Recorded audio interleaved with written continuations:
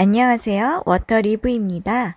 네, 오늘은요, 카드를 만들어 보려고 해요. 자, 어떻게 그리는지 한번 볼까요? 네, 저는 꽃봉오리 중심으로 동그랗게 주변을 꽃잎을 하나하나씩 그리고 있습니다. 네. 보고 그리는 게 좋아요. 머릿속에 다 있다면 물론 좋겠지만요. 네. 어떤 사진이나 어떤 다른 그림을 보고 꽃 그림을 보고요. 이렇게 그리는 그리면 돈 그리는데 많은 도움이 되겠죠. 네. 이렇게 꽃봉오리 하나하나씩 그냥 겹쳐가면서 이렇게 꽃, 꽃잎을 겹친다고 생각하고 이렇게 하나씩 하나씩 그려 나갑니다. 네, 가운데, 예, 점 가운데 중심으로 해서 꽃잎을 하나씩 하나씩 그려 나갑니다. 네. 이 연습을 많이 하다 보면 그렇게 어렵지 않거든요. 네. 이렇게 약간 겹친다고 생각하고 꽃잎을 하나씩 하나씩 그려요. 네, 저 펜은요, 어, 약간 glitter 펜인데요. glitter 젤리 펜입니다. 그래서 약간 황갈색의 어, 약간 반짝거리는 펜이에요. 그래서 어, 색깔을 칠한 다음에도 그 반짝거림이 약간 남아 있어서 예, 예쁘게 그려지더라고요. 저는 저 펜을 잘 사용합니다. 그리고 색상도 마음에 들고요. 네. 꽃잎이라든지 나뭇잎 그리기에 참 적당한 컬러라고 생각해요.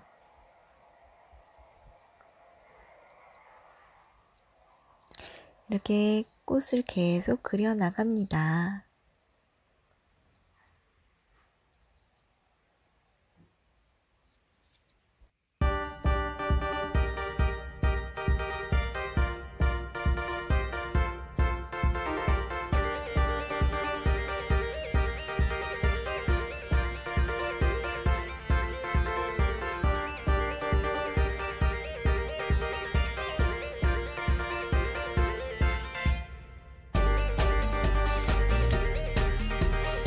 네, 이제 마커펜을 이용해서 색깔을 입혀보도록 할게요. 네, 꽃 하나하나에 그냥 꽃 하나를 같은 색으로 일단 칠해줍니다. 하나씩, 한 덩어리씩이요. 같은 색으로 적당히 터치감도 이렇게 보여주면서 네, 적당히 음, 터치감의 그런 느낌을 살려서 이렇게 칠을 해주면 더 뭔가 뭐지? 느낌이 좋겠죠? 느낌이 살겠죠? 네, 그렇게 해서 그냥 색칠 공부한다고 생각하고요. 그냥 마커펜으로 잎을 이렇게 메꿔줍니다. 색을 잘 메꿔주세요.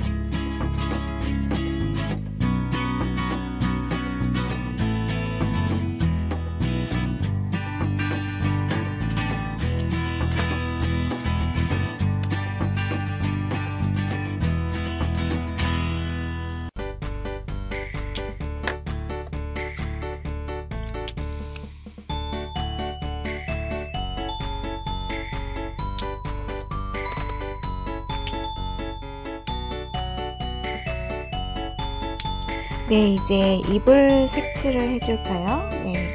먼저 색깔 칠할 때는요, 테두리를 한번 이렇게 약간 그린 다음에 칠을 해주면요, 조금 더 편리하겠죠? 그리고 약간 한 색깔로만 칠하는 것보다는 어, 두 가지 이상의 색깔로 잎을 칠해주면요, 좀, 좀더 아트적인 느낌이 나겠죠? 네, 좀 더 뭔가 수채화 같은 느낌? 약간 그런 느낌도 좀 날 것 같아요. 네. 자, 그래서 계속 이렇게, 네, 한 가지 색으로만 하는 것보다는 이렇게 두세 가지 정도 어, 색깔을 이용해서 네, 잎을 완성을 해보면 되겠습니다. 이제 꽃잎에도 음영을 넣어줍니다. 그냥 군데군데 살짝살짝씩만 예, 넣어주는 게 좋습니다. 너무 많이 넣어주면 또 음, 약간 뭐랄까 너무 많이 넣어주면 좀 지저분해 보일 수 있으니까요. 예. 그래서 살짝살짝 이렇게 넣어줍니다.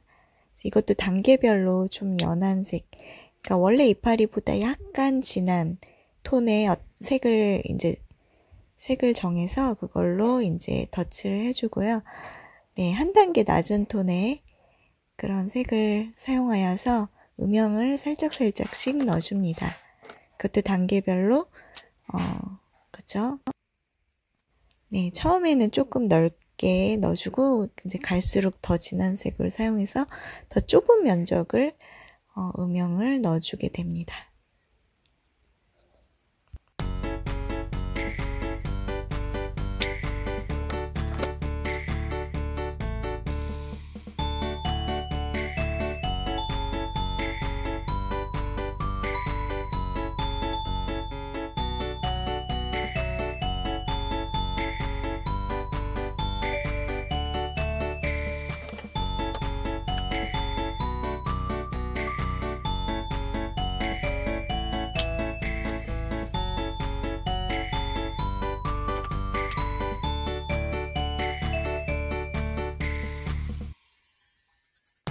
네, 이제 어, 배경을 이제 칠하는데요. 예, 초록색으로 어, 군데군데 어, 잎이 만, 많이 풍성하게 있다는 느낌으로 네, 어두운 색을 이렇게 칠해줍니다. 그러면 상대적으로 꽃잎이 살아나게 되거든요. 그래서 이 배경을 칠하는 것이 굉장히 중요해요. 그래서 꽃잎이 더 살아나 돋보이게 예, 보이, 보여지게 하기 위해서죠.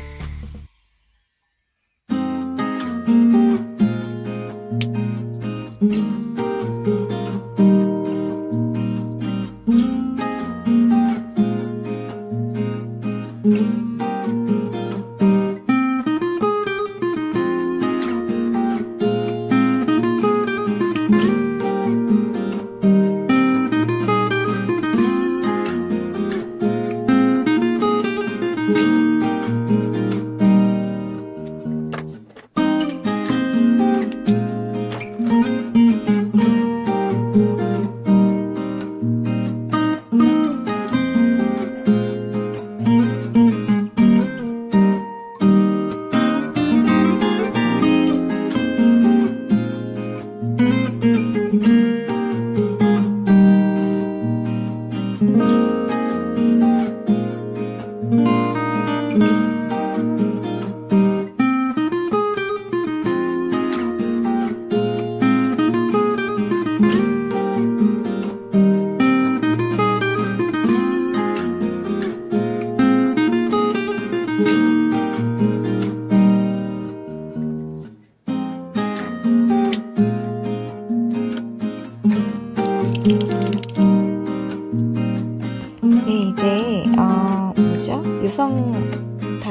다른 마커펜으로 어, 노란색을 해봤는데요. 저거보다는 이제 금색 마커펜이 있어요. 그래서 마커펜으로 이렇게 예, 꽃술을 꽃 저거 뭐죠? 꽃술이죠. 꽃술을 이렇게 표현을 해줍니다. 네, 그러면 반짝반짝 빛나면서 조금 네 정말 카드에 왜 반짝거리는 느낌 있잖아요. 그런 효과도 내주면서 음, 아름다운 표현을 해줄 수 있습니다. 네, 그리고 이제 더 포인트, 어두운 포인트를 더 잡아줍니다.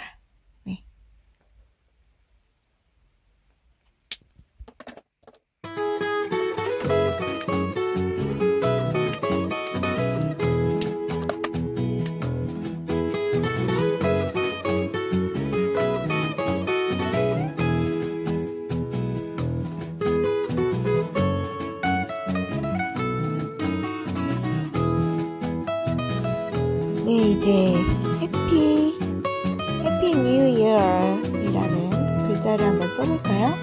이거는 정말 캘리그라피 연습을 많이 하면 훨씬 더 예쁜 글씨를 쓸 수 있겠죠? 네, 그래서 Happy New Year 예쁘게 글씨를 써줍니다.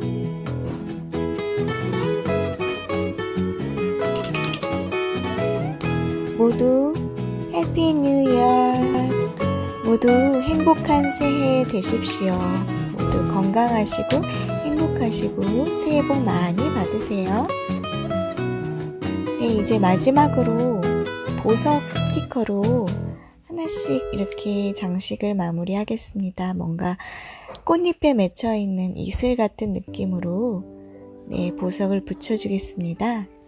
네, 보석이 굉장히 마무리 느낌으로 굉장히 완성도를 높여주면서 카드가 좀 더 고급스럽고 아름답게 음, 될 수 있도록 만들어주거든요. 그래서 보석 스티커를 정말 저는 잘 애용을 해요.